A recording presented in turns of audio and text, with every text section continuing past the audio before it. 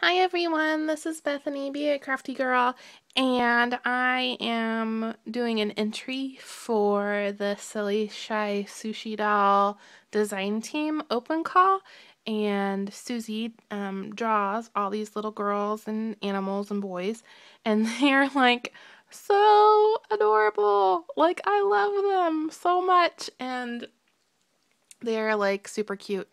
Um, they the ones with these dark eyes, like this one here, um, they remind me of those Lalaloopsy dolls with the button eyes. I just think they're so cute. And I know that some people might think that they're creepy, but I think they're adorable. And anyway, so this is my entry. I used, um, the little girl is called Retro Chic that's her right here. And in the original image, uh, she doesn't have anything on her headband. She just has a headband and a little dress. And she is probably my favorite. I have another favorite. She's right here too. Um, with the little owl mug. She's so cute. I like her too. Um, but um, this one's called Retro Chic. And actually, I think, well, and I call her my... Um, Nancy Drew girl because I think she looks like Nancy Drew. I think that's so funny. So, um, I just think she's really cute. I put a felt flower with a bling on her headband. And then, um, because I think that she's kind of like Nancy Drew like, I used the Melody Ross um, Soul Food collection, which is like the sheet art stuff and um, that's all the paper I use. This yellow stripe over here, though, is washi tape. Um, and then I found in the page with the quotes, it says she was a modern girl with a vintage soul. And I just thought that was perfect for my Nancy Drew girl. And so I put that on there and then I put some other banners with the pattern paper and made that into a banner. I do lots of banners.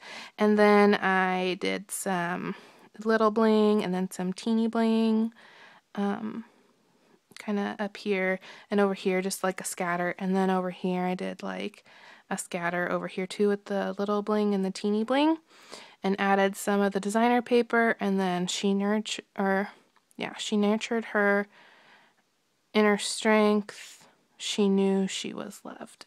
Just thought that was cute. And um and you know like girl power and stuff like that so. And then when you open it up that's where you put the gift card right here. And then I I cut a heart and then in the quotes um, she was happier when she was free. And then uh,